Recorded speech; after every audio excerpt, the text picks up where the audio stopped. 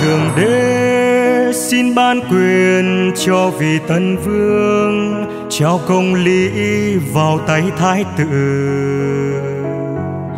Để tân vương đón xét dân theo đường công chính, bênh người nghèo theo lẽ công bình.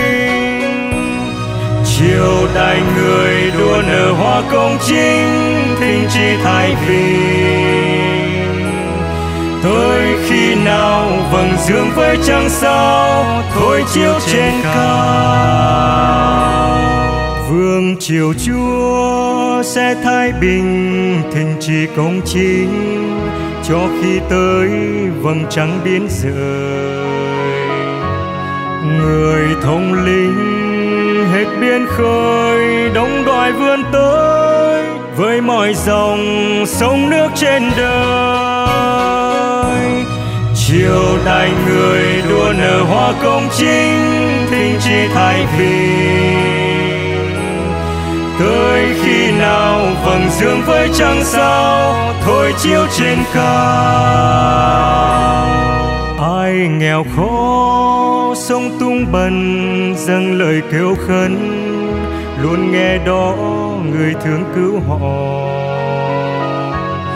người thương xót, hết những ai đơn hèn nguy khó thương đồ trì mang sống dân nghèo.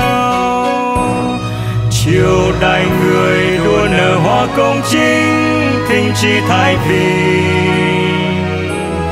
Tới khi nào vầng dương với trăng sao, thôi chiếu trên cao danh của chúa, chiếu sáng ngời, lưu tồn muôn thuở, soi ngang với vầng dương giữa trời. Nhờ danh chúa, hết các dân sẽ được chúc phúc, muôn người cùng cùng chúc ca tụng. Chiều đại người đua nở hoa công chính, kinh chi thái bình khi nào vầng dương với trăng sao thôi chiếu trên cao.